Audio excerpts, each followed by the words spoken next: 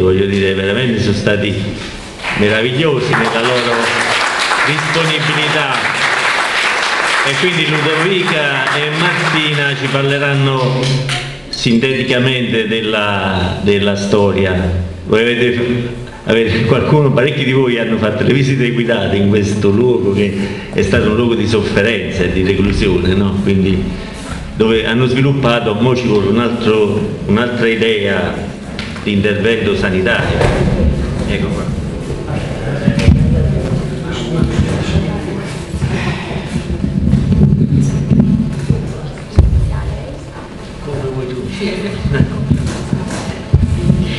Ciao a tutti, sono Ludovica, non sono Novella che è la compagna che doveva intervenire. Io sarò molto breve perché sono un pessimo ripiego, quindi sarò molto veloce nel descrivervi quello che facciamo qui da queste parti. Per raccontarvi come è iniziata l'esperienza del, del, nostro ex OPG ehm, mi riallaccio a quello che hai detto tu prima nel parlare con, con l'altro compagno, nel dire a volte ci sono delle forzature burocratiche che si devono fare. Noi una volta abbiamo detto, utilizzo le parole di una compagna, che per descrivere il posto ad una scolaresca eh, dicevamo è vero, noi quando siamo entrati in questo posto l'abbiamo occupato, eravamo contro la legge, però diciamo che noi seguiamo un'altra legge, un'altra giustizia che è quella che è la giustizia sociale che ci impone di dover eh, ridescri- non ridescrivere, ricreare un'altra realtà, di doverla trasformare. E quindi questo posto è, aveva questa intenzione, di dover ritrovare un contatto con le persone nella nostra attività di militanza politica, di dover rispondere effettivamente alle esigenze di una città particolare e soprattutto alle esigenze di un, di un quartiere che pur essendo a ridosso del centro storico che sta diventando sempre più una vetrina ha, le, ha delle difficoltà enormi, per cui siamo entrati in questo posto che era già caratteristico perché era, molto, era ancora molto presente nella memoria del, del quartiere e era stato lasciato mh, disabitato dal 2008, se così si può descrivere un carcere psichiatrico come disabitato, mentre in realtà non c'era un'effettiva vita in questo posto era stato abbandonato da otto anni, noi l'abbiamo occupato dopo, una, dopo, un bel po' di resistenza che abbiamo fatto anche grazie all'aiuto del quartiere che volontariamente si è messo insieme a noi a resistere ai tentativi di sgombero, abbiamo iniziato a creare tutta una serie di attività che permettessero di rispondere ai bisogni immediati del, del, del posto del quartiere. È per questo che è nato l'ambulatorio popolare, è per questo che è nato il dopo scuola per, per i bambini, del, per i ragazzi del quartiere, è per questo che è nata la Camera Popolare del Lavoro, che sono tutti settori che per noi sono cardine, che sono essenziali per, poterci, per poter riconquistare tutta una fetta di diritti che col tempo viene costantemente mangiata e di cui ormai non abbiamo più la percezione. Il tentativo di ricostruire e continuare a costruire tutti quanti insieme, io dicevo sempre che continuiamo a costruire solidarietà, la solidarietà ci serve come arma, ci serve per poter resistere a tutti gli attacchi che ci vengono fatti e ci serve soprattutto per poter ricostruire, perché il fatto di ricominciare da capo tutti insieme insieme ci permette di rivendicare che queste cose accadano nel, nostro Stato e accadano per tutti indistintamente, quindi noi diciamo sempre che la solidarietà diventa un presidio di resistenza ed è questo che cerchiamo di attuare tutti i giorni, eh, tutti i giorni da queste parti. Il, la struttura parla per sé, noi il, abbiamo un, per me un motto bellissimo, cioè che dove era, abbiamo, prigione abbiamo fatto libertà e se voi venite uno di questi, un giorno qualunque all'UPG, che sia oggi sia durante la settimana, vi renderete conto che eh, abbiamo abitato diversamente questo luogo ed è questa per me la cosa più bella che ci permette di continuare a stare da queste parti. Vedere che nel, la gente è curiosa di venire a vedere quello che era, per avere la percezione di cosa fossero questi posti, di vedere il quartiere che vede, viene a vedere come si è trasformato perché ricorda i detenuti che, che passeggiavano nelle ore d'aria, eh, vedere questo posto vivo di gente che si attiva, che si mette a disposizione, di ragazzi che vengono in assemblea, che ascoltano, che poi vediamo in piazza nelle, nelle lotte e questo, ecco, questo ci restituisce il senso di quella libertà che ogni giorno vogliamo continuare a portare avanti. Adesso sul, quanto, visto che siamo un comune di, di, medicina democratica lascio la parola a chi eh, diciamo così, cerca di ricostruire, ehm, di ricostruire una, un'altra idea di sanità e che tutti i giorni lo fa perché è una nostra dottoressa e quindi passo la parola a Martina.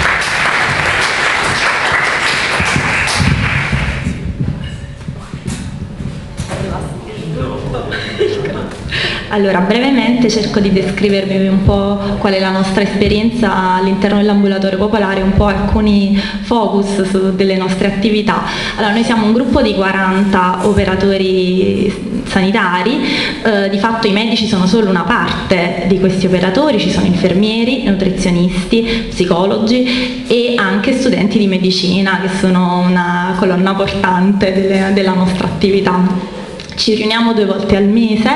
per discutere sia di dettagli organizzativi e ce ne sono tanti perché abbiamo un'utenza diciamo, consistente, l'anno scorso abbiamo chiuso a mille accessi e eh, per discutere quindi dettagli organizzativi ma anche di temi che riguardano la sanità e la salute anche più in generale. Eh, il nostro ambulatorio è eh, diciamo, formato da un, uh, uno sportello uh, di medicina generale, da diversi sportelli specialistici che sono sempre in aumento, uh, un supporto anche di uno sportello diagnostico, quindi diagnostica ecografica, uno sportello d'ascolto e uno sportello nutrizionale. Qui ci tengo un po' a sottolineare il senso di quello che noi facciamo. effettivamente noi prestiamo un'attività di orientamento al sistema sanitario che è cardine ordine per noi e ha un'attività anche di effettiva assistenza eh, che chiaramente è gratuita ed è volontaria. Eh, perché ci tengo a sottolineare? Perché mm, noi eh, non abbiamo l'intento di sostituirci al sistema sanitario nazionale, sicuramente mettiamo alcune pezze a colore in dei frangenti, ma cerchiamo di innanzitutto registrare quali sono le necessità. Allora, la nostra esistenza, così come l'esistenza di altri presidi di salute solidale, dimostra, non solo l'esistenza ma anche l'utenza crescente, eh, i numeri che accedono a questi presidi dimostrano di fatto un vuoto nell'assistenza. Quindi noi cerchiamo di registrare quali, sia il, i, quali siano i bisogni delle persone per, far, per, portare poi queste contraddizioni, queste problematiche al di fuori di questo posto, che poi è il momento fondamentale della nostra azione. Perché è importante questo e come lo facciamo? Lo facciamo attraverso un'attività di inchiesta. Tutte le persone che entrano, che accedono ai nostri ambulatori, gli vengono sottoposti dei questionari mh, in cui si cercano di evidenziare innanzitutto vabbè, chiaramente la provenienza, eh, ma anche e soprattutto il motivo per cui accedono a un nostro presidio e non accedono al sistema sanitario nazionale. E qui abbiamo vari tipi di utenza. Abbiamo i cosiddetti esclusi dal sistema sanitario nazionale e gli esclusi, quindi, e gli esclusi di fatto, cioè quelli che eh, di fatto per problemi di liste d'attesa, per problemi di ticket, non, non, riescono ad, avere, eh, ad, accedere a un diritto, al diritto alla salute, al diritto alle cure.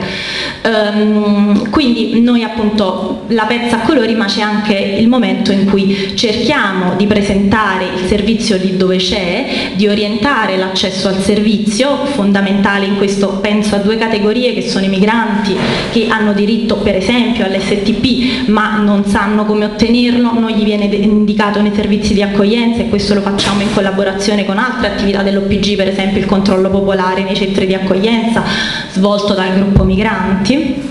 o con la rete di solidarietà sociale per quanto riguarda il secondo gruppo che di fatto non accede alle cure che sono i senza fissa dimora e su questo c'è un'attività dello sportello legale rispetto al fatto di fargli ottenere la residenza virtuale per fargli poi accedere. Quindi insomma le attività sono chiaramente integrate, questo